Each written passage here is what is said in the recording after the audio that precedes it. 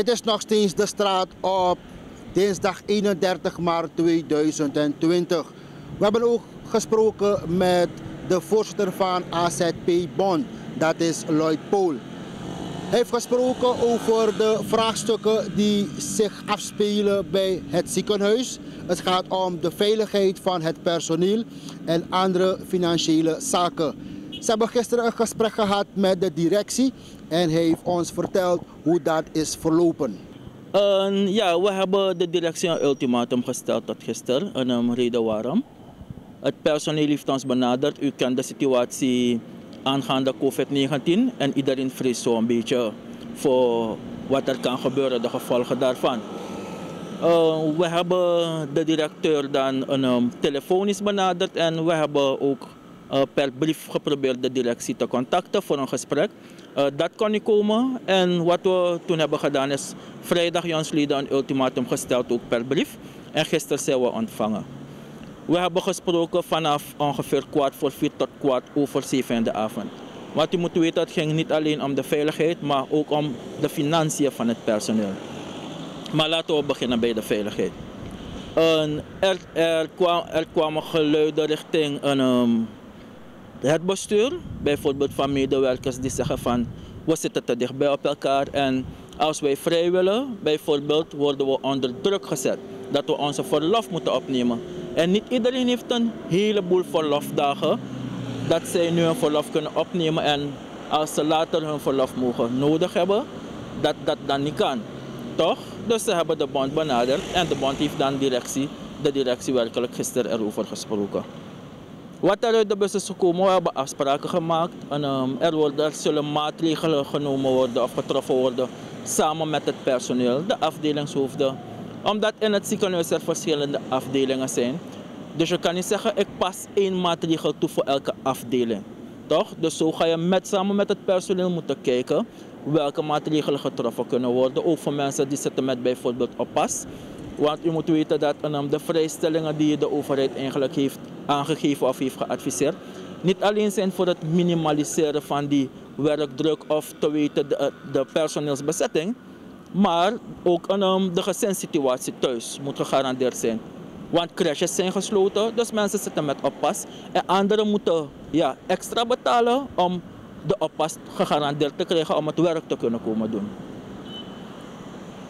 We hebben gesproken met de directeur en nou, als een partij zich aan hun afspraken houden, dan denk ik dat de rust, niet denk ik, dat zal de rust zeker wedergekeerd zijn in het ziekenhuis. Dus we kijken nu naar de uitvoering van de afspraken uit. Ja. En het gesprek was vruchtbaar te noemen? Het gesprek is wel vruchtbaar te noemen, ja. En um, oh ja, het tweede gedeelte. Gisteren zijn de salarissen gestort. Weliswaar moeten de banken nog verwerken, want het is een beetje laat gestort. En vandaag, en volgens de gesprekken, zal Financiën overmaken voor het ziekenhuis, zodat zij de prestatietoelagen van de mensen kunnen uitbetalen.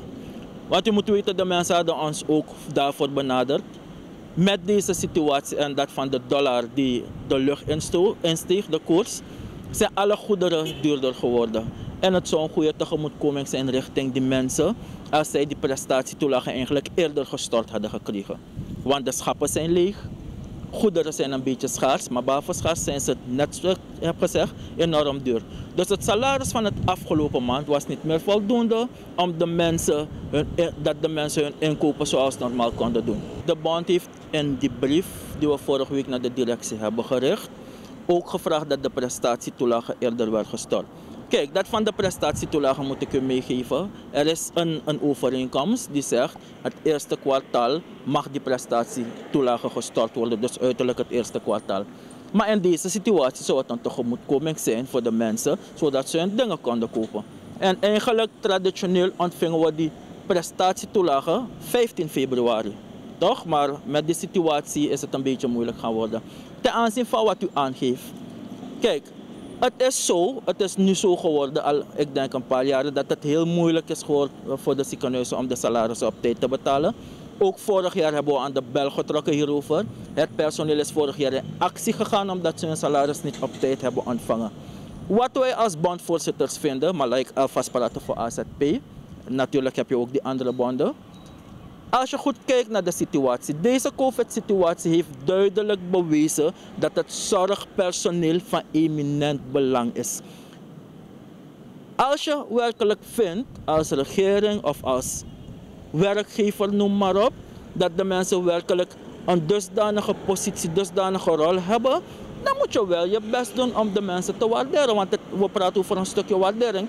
En vooral die motivatie.